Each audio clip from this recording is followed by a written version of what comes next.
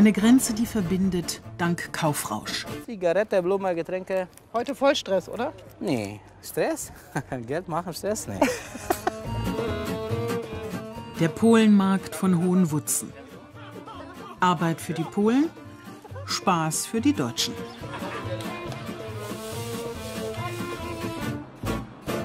Ich möchte gerne so eine Wackelblume. Angebot nach deutschem Geschmack zu polnischen Preisen. Deutsch-polnische Grenzerfahrungen gibt es gratis dazu. Kleines Abenteuer soll es ja auch immer sein.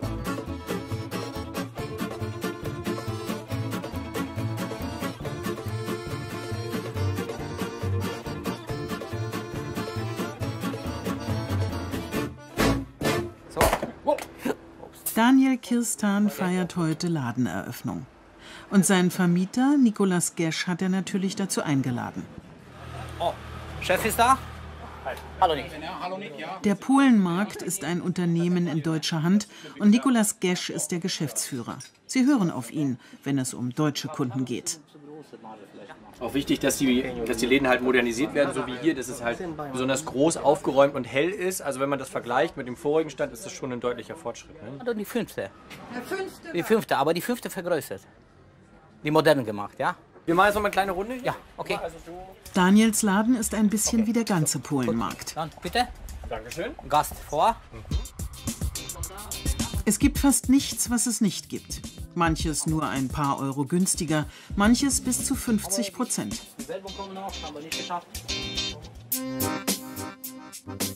Der Polenmarkt liegt rund 70 Kilometer von Berlin entfernt, kurz hinter der Odergrenze.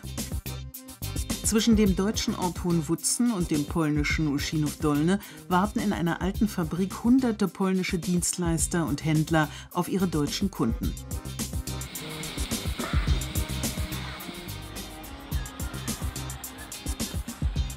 Beim Rundgang erzählt Nikolas Gesch, was er alles tut, damit die Kunden sich wohlfühlen. Das ist unser Kuhdamm, der äh, Hauptverkehrsweg an sich, wo der meiste Verkehr ist, die meisten Kunden. Und das ist wirklich die Hauptader des Marktes. Und deswegen haben wir das schon vor langer Zeit Kuhdamm genannt. Und jetzt ist es auch ganz offiziell mit Straßenschildern. Und ist es denn so teuer wie der Kudamm? Nein, auf keinen Fall. Es mag vielleicht schon ein bisschen teurer sein. Also die, die Marktstände in der vorderen Lage sind manchmal natürlich etwas teurer als die in der hinteren Lage. Deswegen empfiehlt sich natürlich immer als Kunde dann auch zu sagen, ein bisschen die Preise zu vergleichen und auch ruhig mal nach hinten zu gehen und äh, in, den, in den hinteren Straßen und dort zu schauen.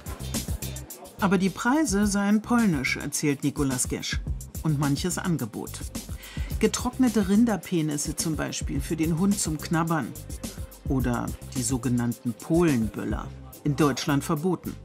Eine Grenze zieht eben nur das polnische Gesetz. Drogen gibt es nicht zu kaufen oder ähm, ja, irgendwelche anderen illegalen Waffen oder irgendwas in der Richtung. Aber ansonsten alles, was der polnische Gesetzgeber uns erlaubt, das kann man hier auch kaufen. Und eine Grenze zieht er persönlich.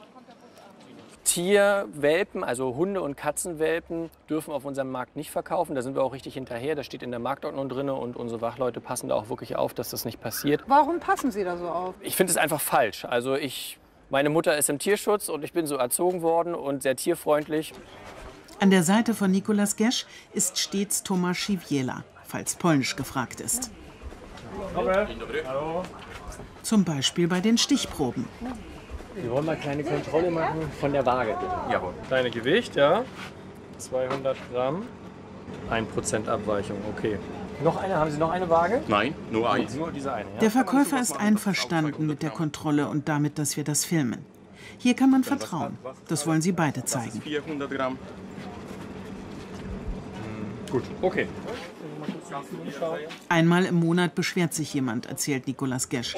Meist aber grundlos, meint er. Auch gut.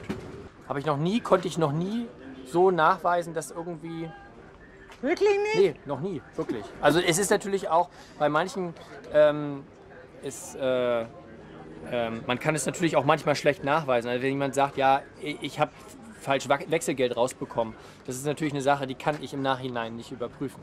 Sondern ich kann nur mit den Mietern sprechen oder mit den Händlern dann sprechen und sagen, bitte passt auf, ist ganz wichtig, dass die Kunden fair behandelt werden und dass sie sich auch fair behandelt fühlen. Nur so kommen sie wieder und es gibt nichts Schlimmeres, als wenn die Leute sich halt ungerecht behandelt fühlen. Ne? Vertrauen ist ein Thema auf diesem Markt, auf dem die Kunden Deutsche, aber Preise und die Art zu verkaufen noch sehr polnisch sind. Heute ist Promotion, Kekse gratis, Feuerzeug gratis, Lutscher gratis und Schönebeute gratis. 30. Wie viel Stangen rauchen? Ich nur Aber für 30. Hallo. Digga. Warte mal, warte. Kann man denn noch handeln? Ja, natürlich. Nicht immer. Bei Zigaretten nicht.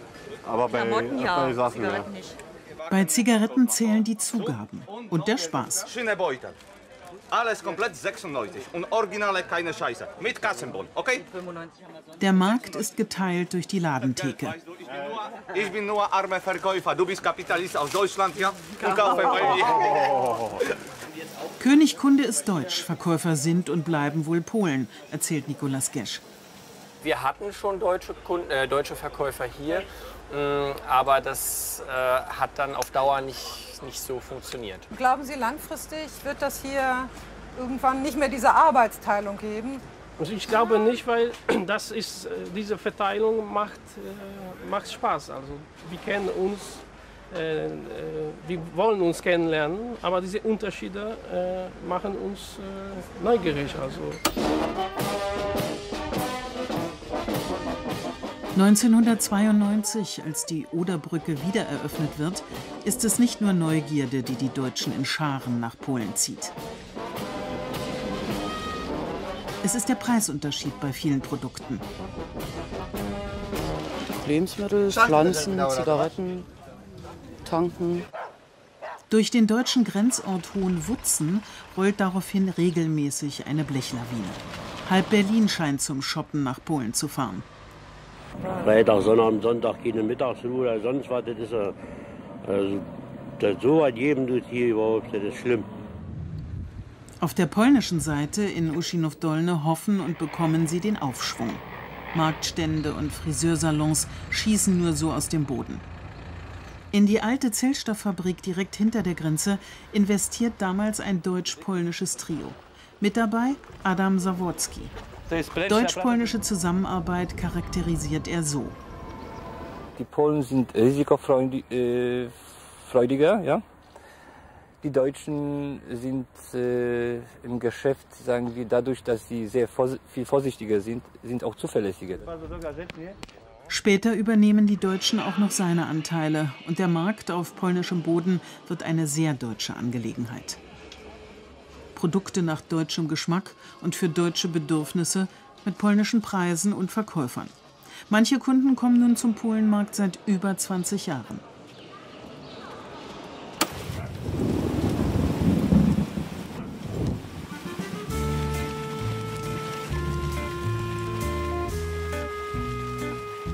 Wenn es jetzt abregnet, wird es am Wochenende schöner, sagen sich die Schüsslers. Denn es naht der erste des Monats und damit ihr traditioneller Polenmarktbesuch. Die Schüsslers fahren seit über 20 Jahren regelmäßig von Berlin aus auf den Polenmarkt. Und besonders Birgit Schüssler lebt dort ihren Sammeltrieb aus. Nebenbei überlegen wir dann immer noch, wie wir hier in den Garten einen zweiten Boden reinkriegen. Zweiten Boden, warum? Na, der Sammeltrieb, der äh, ist größer als die Möglichkeiten, die wir hier haben. Aber manches ist dort einfach unwiderstehlich, wenn es auch nicht mehr alles so günstig ist, wie es mal war. Und günstig muss es sein, aus gutem Grund. Also ich bin jetzt schwer beschädigt, auf Ruhestand und naja, mhm. da fehlt ein bisschen und da guckt man ja doch, wo kriegt man es günstiger. Und in nach Polen ist das nicht mehr so, dass man sagen kann, äh, da zahlst du weniger. Bestimmte Artikel ja, aber Baumaterialien, hier wie Holz oder so. Trotzdem lohnt sich, weil es immer noch Sachen gibt, die dann doch noch da äh, billiger sind, weil da ein paar Sachen dann auch verkauft werden, die hier nicht verkauft werden dürfen. Okay. So diese Markenware mit den Rechtschreibfehlern. Der Regen ist vorbei. Schnulle. Der letzte Einkauf muss noch seinen Platz finden. Ich würde vorschlagen, wir, also wir montieren das an das Gitter oder wir stellen es einfach mitten im Beet. Da ist das schöne Stück verloren, meinen Sie. Die Entscheidung wird vertagt auf die Zeit nach dem nächsten Einkauf. Vieles ist hier aus Polen. Manches hat sogar vier Beine. Das ist Susi, unsere kleine polnische Mitbürgerin. Auch Tiere sind günstiger. Aber da achtet Birgit Schüssler zuerst auf die Haltung. Tiere, die bei uns sind, sollen es gut haben. Und die sollen auch von da kommen, wo wir sagen, die Haltung können wir mit vertreten. Weil da, wo, wo das nicht schön ist, kaufe ich nicht, ich unterstütze das nicht. Auch für die Enkelin Mara ist der Ausflug nach Polen mehr als nur Shopping. Es ist eine Abwechslung. Immer Anfang des Monats. Wie viele andere Leute auch. Und dann ist da Bambuda angesagt. Warum Anfang des Monats? Weil es da die meisten Sozialleistungen gibt. Da kommt die Rente. Mara muss mal. Das geht natürlich vor. Aber einen Punkt will Birgit Schüssler noch machen. Wir haben uns auch angewöhnt, das eine oder andere auch unterwegs äh, mitzunehmen, äh, wenn wir irgendwas brauchen. Also auf dem Weg nach Polen. Haben auch die deutschen Grenzbewohner eigentlich was vom Polenmarkt? Wir schauen uns um in Hohenwutzen.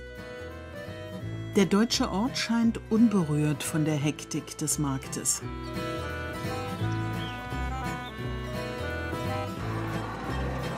An der Brücke wirbt Thomas Vogt für seinen Laden. All gut? Der Fleischer ist der größte Arbeitgeber am Ort. 15 Mitarbeiter machen unter anderem seine berühmte grobe Leberwurst. Der Polenmarkt, erzählt er, bringt auch ihnen was. Kunden, die aus Berlin kommen und da drüben einkaufen, äh, halten auf der Rücktür sehr oft bei uns an und kaufen uns auch noch ein. Also das passiert ja, schon? Das, ja, das passiert. Also das, dieser Markt hat endlich äh, unser Geschäft eher belebt. Bei Fleischer Vogt fürchten sie nicht die polnische Konkurrenz, auch wenn die vielleicht billiger ist. Alle tanken drüben. Das war's dann aber auch. Warum soll ich polnische Knacker probieren? Ich hab Wir sind ja gleich nebenan Ach, so oft fahre ich da nicht rüber. Ich bin doch kein Berliner. Brauchen Sie auch Speck dazu? Speck halt zu Hause. Okay. Man spricht ausschließlich Deutsch im Laden. Polen kaufen hier nie ein. Und an diesem Werktag am Monatsende sind auch nur Einheimische da. Wir-Gefühl wird mitverkauft. Wir haben das große Glück, dass wir im Ort noch einen Fleischer haben. Und das ist ja der große Vorteil dabei. Und wenn wir uns hier selber nicht untereinander ein bisschen was abkaufen, dann geht es auch dem Handwerker schlecht. Man muss auch ein bisschen Solidarität zeigen, sagen auch Heike Schulz und Marion Babke. Aber ab und an feiert man schon mal zusammen mit den polnischen Nachbarn. Wenn nur diese Sprache nicht wäre.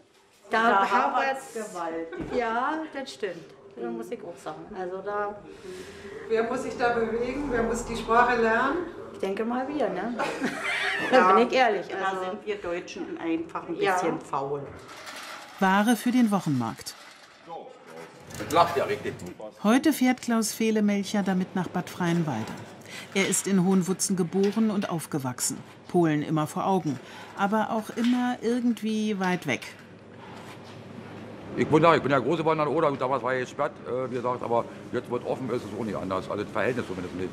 Das Leben, denke ich mal, äh, tauscht sich hier in, äh, an der Grenze nicht so aus, dass es irgendwie, dass man es merken würde. Thomas Vogt sucht dringend Nachwuchs. Auch einen Polen würde er nehmen, erzählt er. Aber die schrecke die lange Lehrzeit. Denn das schnelle Geld wird nebenan gemacht. Zigaretten-Drive-In. Eine von vielen Geschäftsideen des Polenmarktverkäufers Daniel Kirstan. Bald ist Monatserster. Dann wird's hier richtig voll. Einiges wird Daniel geliefert. Per Telefon bestellt er eine Extraladung Zigaretten beim Großhändler. Anderes muss er holen. Palmal double click dwa razy. To daj mi jeszcze ze dwa. Immer ist Schnelligkeit entscheidend, wenn man Kunden halten will. Ich bin ganz intuitiv. Wir gucken, aha, jetzt geht die Sache oder so, oder Kundschaft. Fragen, oh, sowas suche ich, sowas. Und dann, wenn ein, zwei, dritte Kunde suchen das, dann ich nehme Telefon sofort und dann rufen. Bei dieser Großhandel, bei die, hast du sowas? Da musst du ganz schnell reagieren. Der Fleiß der Familie zahlt sich aus. Das zeigt sich, als wir am Haus des Bruders vorbeikommen. Der lässt sich gerade einen schönen neuen Zaun bauen. Äh, Hey, morgen machst du den Teich in e, meinem okrąg, tak? Garten, ja? Daniel Kirstan hat nun Geld für die schönen Dinge im Leben.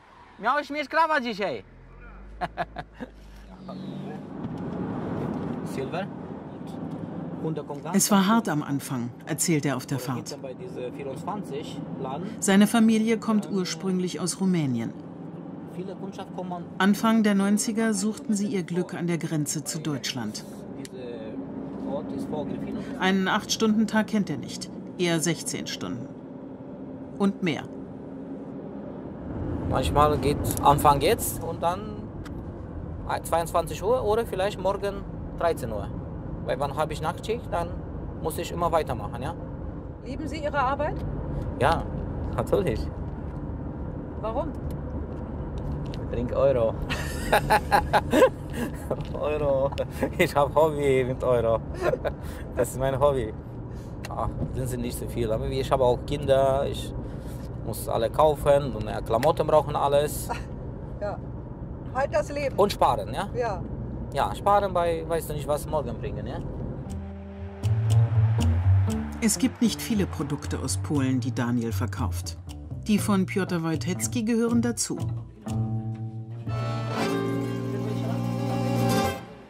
Blumen.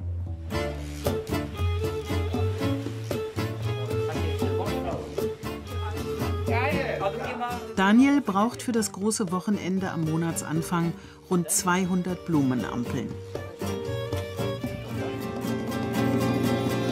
12, 13 Jahre machen wir die Blumen, dann habe ich Auge für das. Wann mir gefällt, dann Kunde gefällt auch. Gefällt mir nicht, dann Kunde kauft auch nicht. Ich gucke, oh, aber ich nehme zur Probe, aber gefällt mir nicht. Und dann die Blume stehen. Ja, das bestimmt die Blume, das äh, hat große Karriere. Ihre Blumenampeln züchten sie auch schon mal schwarz-rot-gold. Extra für Daniel. Der deutsche Markt macht rund 80 Prozent des Einkommens von Piotr Wojtecki aus.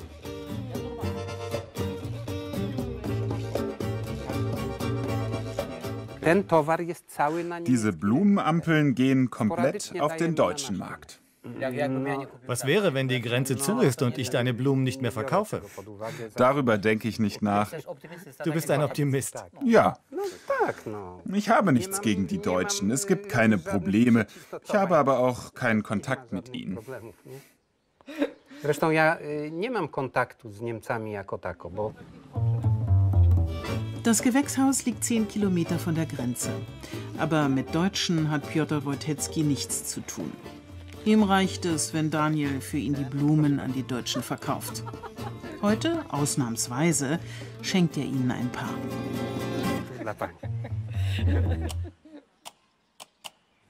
Manche Polen sind immer noch vorsichtig mit denen, die einst diese Häuser bewohnten. In Uschinow-Dolne, ehemals Niederwutzen, steht ein Haus, das früher offenbar der Familie Dewitz gehörte. Seit den 60ern wohnt hier Leokadia Baryba, doch irgendwie stets auf gepackten Koffern. Dzień dobry. Dzień dobry, dzień dobry, witam. Denn die nahe Grenze war bis 1991 nicht von ganz Deutschland anerkannt. Als mein Vater mal zu Besuch kam, sagte er, ich werde Zentralpolen nie verlassen. Denn wenn es wieder zu einem Krieg kommt, und früher dachte jeder, auch ich, dass es wieder dazu kommt, wenn die Deutschen uns wieder überfallen, werden wir hier nicht leben können. Kind kommt zurück.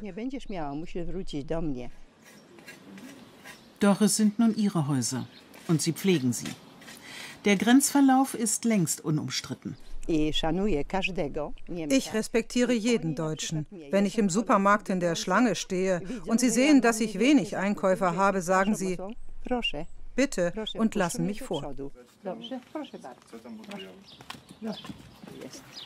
Es hat geholfen, dass die Grenze nun offen und deshalb weniger wichtig ist, erzählt sie noch. Und zeigt uns gleich nebenan den Supermarkt mit den vielen freundlichen deutschen Kunden. Und heute sind es viele, obwohl es ein Werktag ist. Denn es ist Monatserster.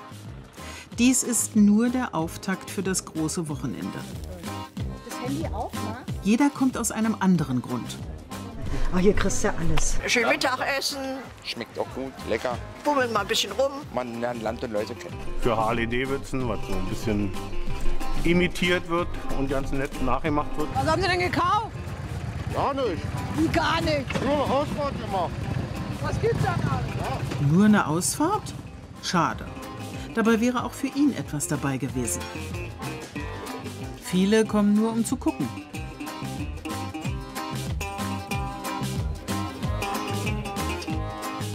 Doch manches, was man entdeckt, erscheint gerade in Polen merkwürdig. Das Reich kommt wieder, verspricht ein Kuschelkissen. Alles ist da für eher nationalistisch gesinnte Kunden. Das hier ist ein Markt. Man macht alles für die Kunden. Das ist nicht verboten und die Ware beleidigt oder schadet niemandem. Soll er es sich kaufen oder nur anschauen und weitergehen? Auch Andrzej Schwabek hat jahrelang als Verkäufer alles für Kunden getan. Man kennt sich. Aber Geschichte ist für ihn mehr als ein fragwürdiges Nostalgieprodukt. Gerade hier. Denn er hat eine besondere Beziehung zu dem Ort. Da drüben bin ich aufgewachsen. Dort, wo in den 30ern die Verwaltung saß und heute ein Friseur.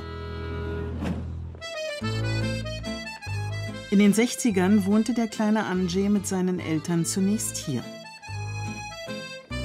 Er blickte von seinem Fenster aus auf die Grenze. Uschinów Dolne ist damals das Ende der polnischen Welt. Ich bin hier aufgewachsen, deswegen beschäftige ich mich mit der Geschichte des Ortes. Er ist reich an Geschichte, weil das früher keine polnischen, sondern postdeutsche Gebiete waren.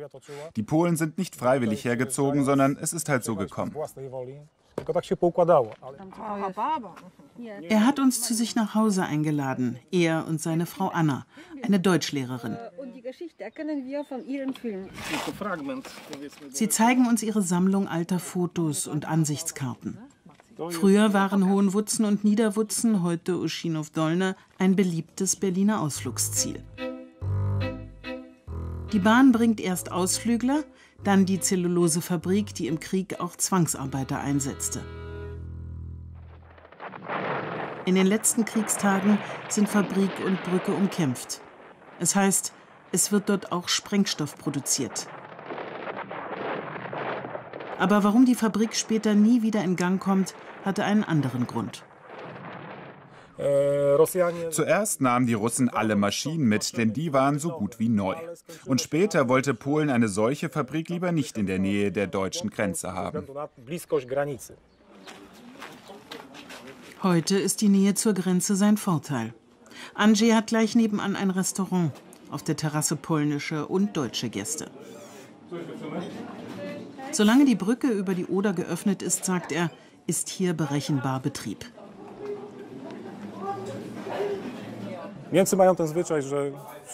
Die Deutschen haben ihre Mittagszeit und halten sich daran. In Polen gibt es so etwas nicht. Die Deutschen kommen alle um 13, 14 Uhr, als hätten sie sich verabredet.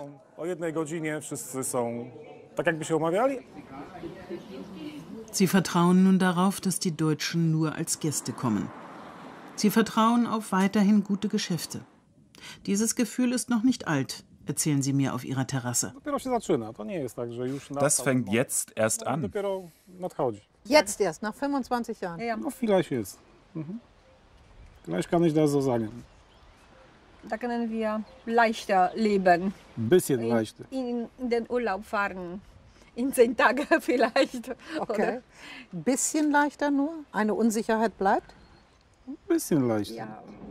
Andrzej fährt mit uns zu Ingrid Homek. Ihr Sohn ist in meinem Alter, wir haben zusammen gespielt. Er will sie uns vorstellen, weil keiner mehr weiß als sie, wie es ist, wenn Deutsche und Polen keine Freunde sind. Jest pani Sabina, witamy, witamy. Ingrid Homek wird als Deutsche geboren, aber bei Kriegsende schafft ihre Familie es nicht mehr über die Oder. Sie bleibt hier hängen, in Niederwutzen, Uschinow-Dolne, schlägt Wurzeln, so schwer es auch gewesen ist, erzählt sie. Es war ganz schlimm, wissen Sie, wie wir sind in der Schule gegangen. Sind wir in der Schule gegangen und haben die polnische Kinder gesagt, was wisst ihr, eine Deutsche? Und haben sie geschimpft auf uns. Sie wird von den Kindern damals nur ein bisschen mit Knüppeln gejagt, erzählt sie. Die Erwachsenen lassen sie in Ruhe. Später heiratet sie einen Polen, bekommt drei Söhne und arbeitet in der Landwirtschaft. Ihre Hühner sind heute noch ihr ganzer Stolz. Besonders die Grünleger aus Deutschland. Ist grün jetzt schon. Das ist so eine Sorte. Das ist eine Sorte? Nach der Wende ändert sich alles. Sie fährt mit polnischen Nachbarn zum Spargelstechen nach Deutschland. Das habe ich organisiert und sind wir immer mit Auto hingefahren. Dann war ich schon gut. Dann waren viele schon gut, dann haben sie schon auf meinen Vater nicht geschimpft, dass wir Deutsche sind, weil das war, dass sie keine Arbeit äh, versorgen. Ja, ja, ja. Mit dem Geld renoviert sie das Haus. Die offene Grenze hat alle versöhnt, erzählt sie. Welche Bedeutung das Wort Heimat für sie hat, frage ich. Es ist eine, die nicht an einen Staat gebunden ist. Dieser Ort, Osinov Dolny oder Niederwutzen, egal. Ist Heimat von mir. Ist es, ne? Ja, Und es ist egal, wie es heißt? alles egal. Es ist ihre persönliche, es ist aber auch eine alte Erfahrung. Ein Fluss trennt die Menschen. Heute kann man an der Oder Neues erfahren, dank einer Brücke und dank eines Marktes.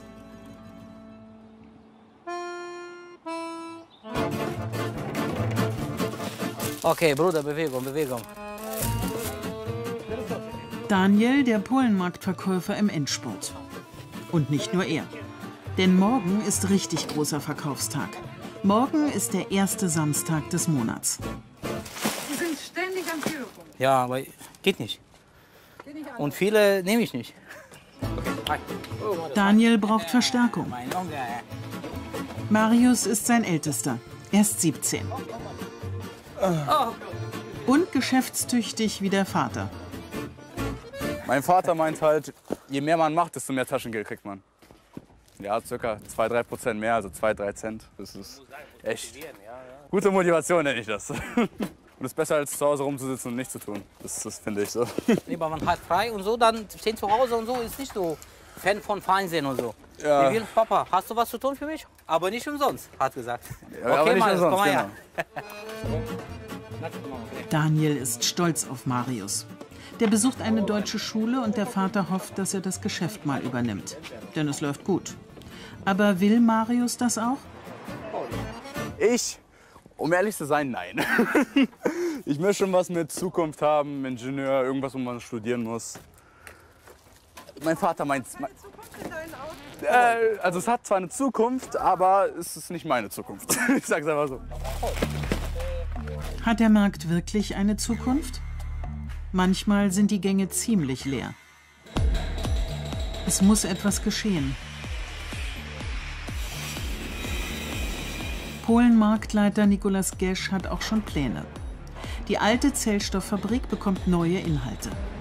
Die Zwischenetagen, also da, das meinte ich hier mit den Zwischenetagen, die, die und da oben auch, die müssen ja in jedem Fall weg. Ne? So. Arbeitsbesprechung mit einem Architekten.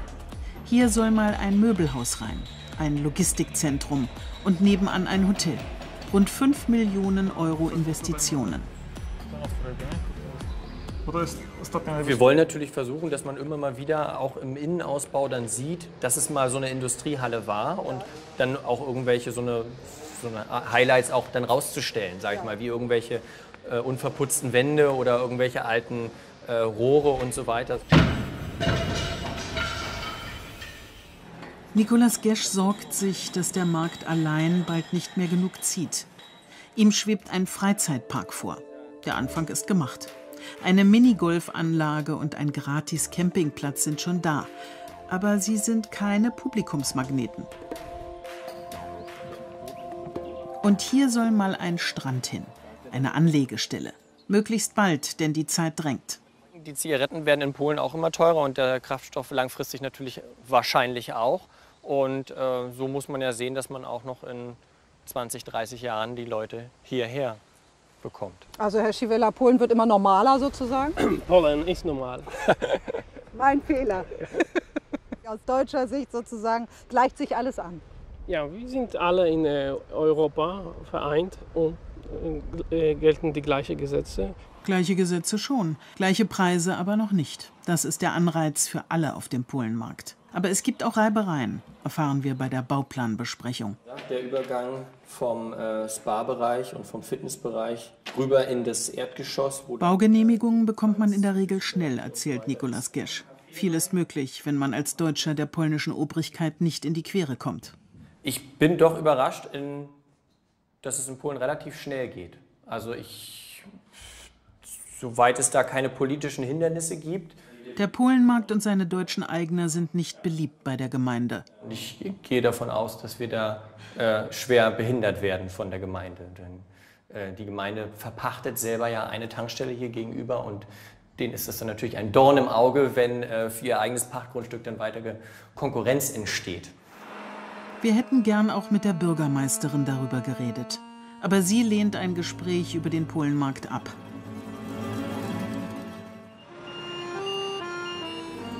Es ist nun Samstag früh am Monatsanfang. Mit der Ruhe ist es vorbei.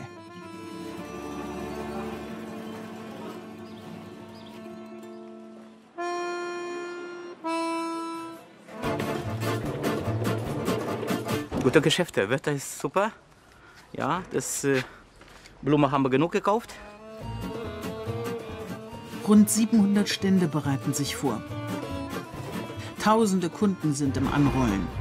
Unter ihnen auch die Schüsslers aus Berlin. Sie haben einen klaren Plan. Ich richte mich immer nach Schnulle. Berlin-Marzahn, Haltestelle Polenmarktbus.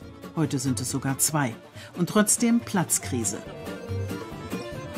Der Busfahrer muss manche stehen lassen. Ärgerlich für den nächsten. Der Bus fährt sonst eine Stunde 15, aber nicht heute. Für 5 Euro trotzdem unwiderstehlich, findet Rainer Breselge. Billiger kann man nicht ins Ausland kommen. Die friedliche deutsche Invasion ist willkommen und gefürchtet. Der Busfahrer deutet es an. Am Wochenende machen viele Leute, wie man so sagt, sie wissen schon, wovon ich spreche. Man braucht zumindest Flüssigkeit. Und Benzin, meinen die Schüsslers. Ja, Billard. Und wenn wir schon mal hier sind, mitnehmen. Wir hatten schon mal Unterschiede bis zu 30 Cent. Aber leider Gottes geht die Schere immer weiter zusammen. Irgendwann wird sich das nicht mehr lohnen, wenn das so weitergeht. Und geht es dann überhaupt noch ums Lohnen oder geht es um den Spaß? Ich denke mir mal, wenn das so weit ist, dann werden wir so gut wie gar nicht mehr fahren. Säule 4 bitte. Aber noch lohnt es sich. Dankeschön. Aber jetzt hinein ins Gewühl. Die Reichsbürger-Accessoires lassen die Schüsslers kalt. Aber alles, was quäkt und wackelt, findet Gefallen. Ich möchte gerne so eine Wackelblume. So eine. Hier. Genau. Und Hula Hoop nehme ich auch mit. Eine grüne Hula Hoop. Die Schüsslers haben so ihre Spezialstände. Bei manchen gucken sie nur. Die Minions, die passen sich hier immer an.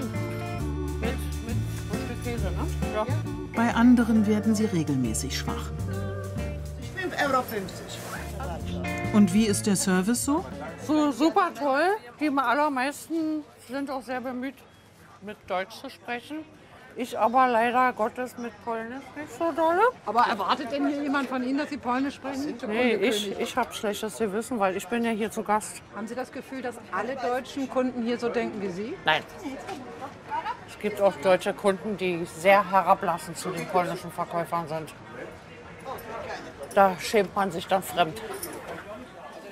An diesem Tag beobachten wir nichts in dieser Art.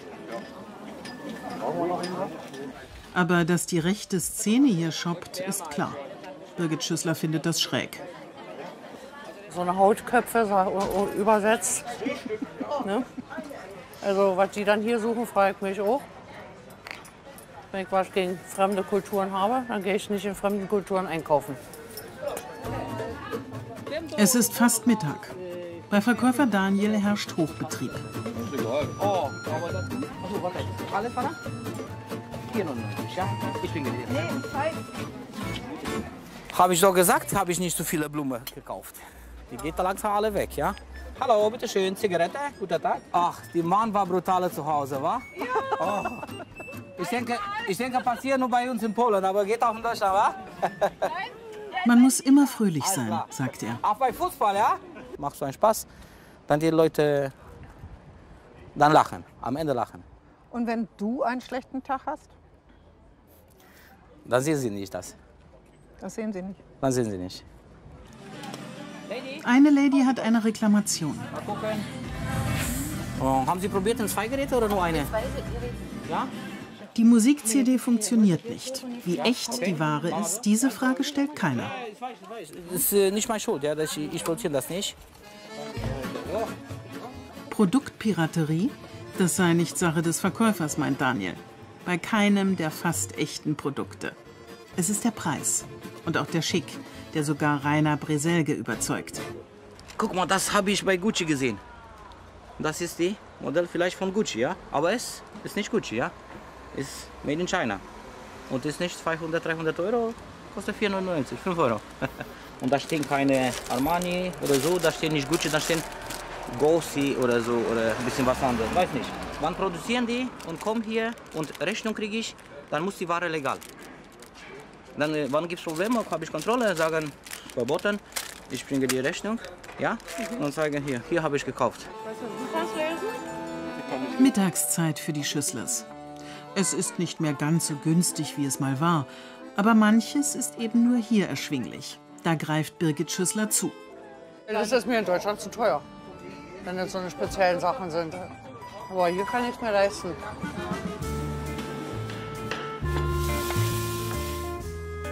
Auf der Terrasse kleiner Urlaub. In der Küche Stress.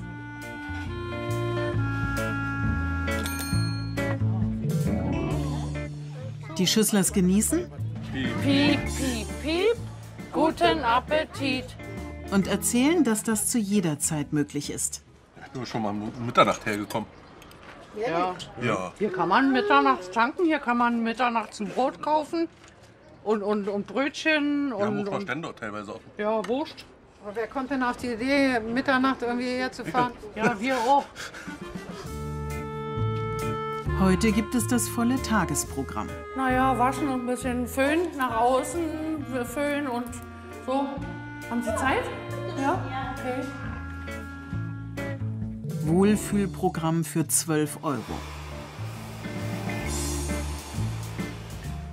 Ich habe das sowieso tierisch gerne, wenn man mir eine Haare rumspiegelt. Und während Frau Schüssler genießt, ist Polenmarktleiter Nikolas Gesch hochkonzentriert. Meeting mit einem polnischen Investor. Er will das Möbelhaus in der Fabrik einrichten.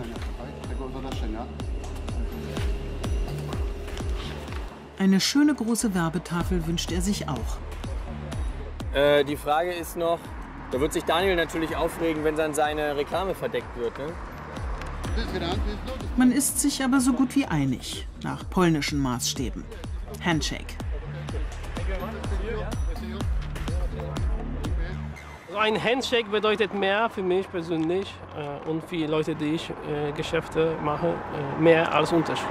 Da bin ich auch vielleicht manchmal schon etwas angeeckt, weil für mich letztendlich aus meinen Erfahrungen aus Deutschland ich hier rübergenommen habe, äh, der Vertrag ist das, was letztendlich zählt, das, was schriftlich niedergeschrieben, auf was man sich ja irgendwann mal geeinigt hat, das ist das, äh, was dann auch gilt und keine irgendwelchen Nebenabsprachen, die vielleicht angeblich oder vielleicht doch irgendwann mal stattgefunden haben. Wenn man verbindet die zwei Sachen, dann ist alles glücklich. Also man vereinbart mündlich und bestätigt schriftlich.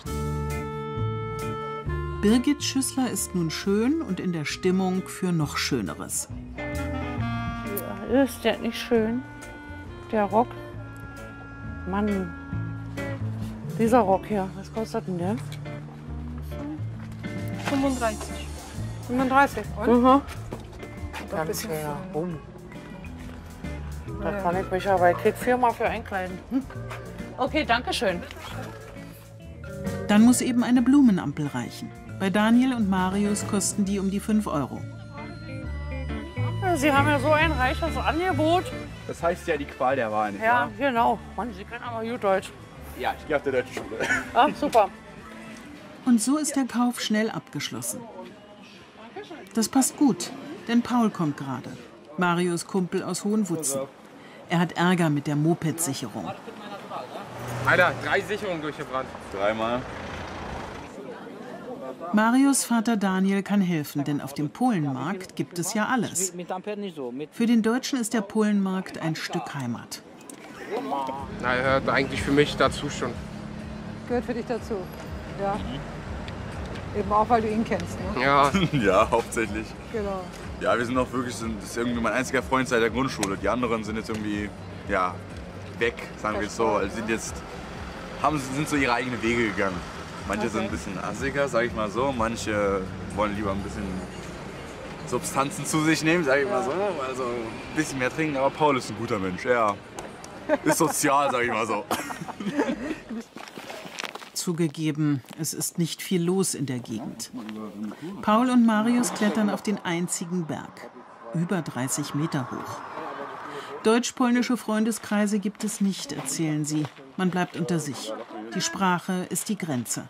Nicht hinfallen, Paul. Paul, warum lernst du nicht Polnisch? Das ist eine gute Frage. ich nee, warum die Schule? Ja, wir hatten von der ersten Klasse an immer Englisch. Ja. Von der ersten an. Und ist das nützlich? Doch, ist nützlich. Englisch. Aber Wäre Polnisch auch nützlich gewesen? Eher weniger.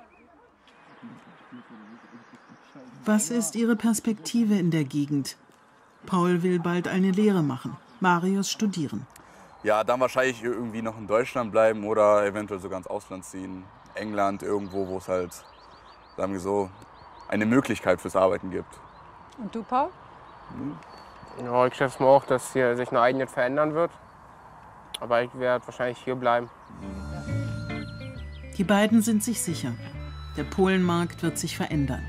Aber irgendwas dieser Art wird es hier auch noch in 20 Jahren geben. Ende des Markttages. Birgit Schüssler hat ihre Blumenampel und Enkelin Mara ihr Eis. Wie war sie denn nun so, die Grenzerfahrung? Ich mal, irgendwann wird die Grenze ganz wechseln. Da wird keiner mehr sagen, also das ist jetzt, gut auf Papier wird es stehen. Deutschland, Polen. Aber ich schätze mal, das wird sich alles die- irgendwann mal überlaufen. Ob wir das noch erleben, weiß ich nicht, aber Dann werden irgendwann. die Deutschen und die Polen gleich, aber es gibt immer noch Ossis und Wessis. Das ist dann eine andere Geschichte. Aber es stimmt. Zu einer Grenzüberwindung gehört mehr, als in ein Auto zu steigen.